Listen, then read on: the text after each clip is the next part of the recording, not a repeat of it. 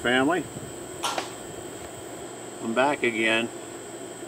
Just when you thought it was safe to turn YouTube on.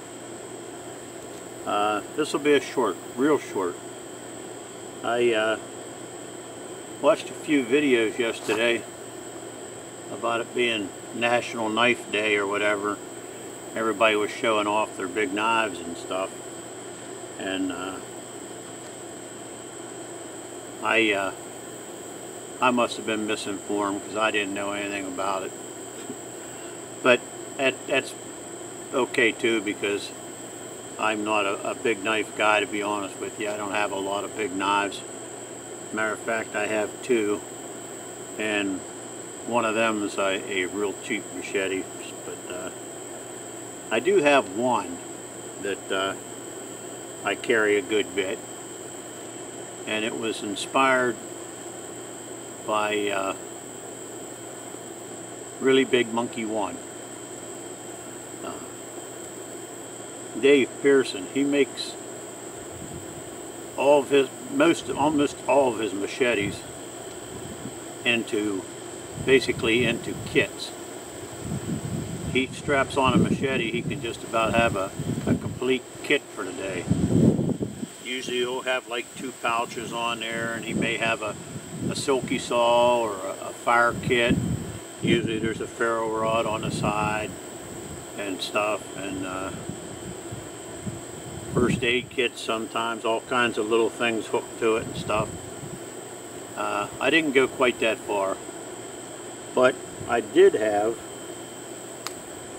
my uh, KA-BAR cutlass that I've had for, for a good while got a lot of good use out of it. Holds a pretty good edge and uh, it's a nice chopper. It's it's it's stout enough. It's fairly heavy blade. Got a nice rubbery grip, nice and hard. Uh, I kind of like it. I love the knife and uh, Dave has one of these too. Of course, Dave has just about every machete and big knife known to man, I think. But I kind of emulate him a little bit in certain things that he does. And uh, what I did was put a little piece of uh, Gorilla Tape on the back.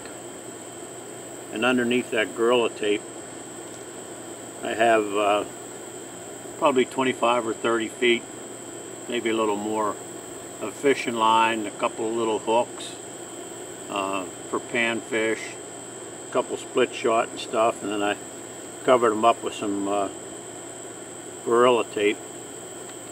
So I have like a little emergency fishing kit. And uh, then I wrapped it, you can probably not see that, but I wrapped it with about 50 feet of bank line, which serves two purposes.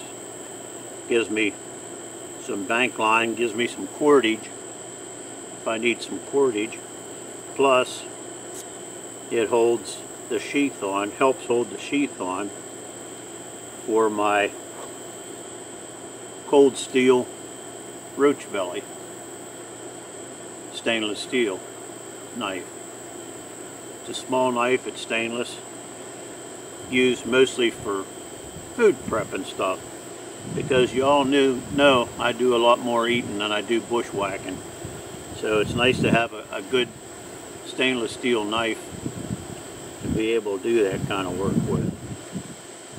So I just strapped that on there just as a backup knife. Little little velcro loop on the lanyard to keep it in there. And it makes a uh, a nice little kit knife. So uh, that's all. I just kind of wanted to show you my only good big knife. So uh, that's about it. Y'all take care. Be kind to one another. See you soon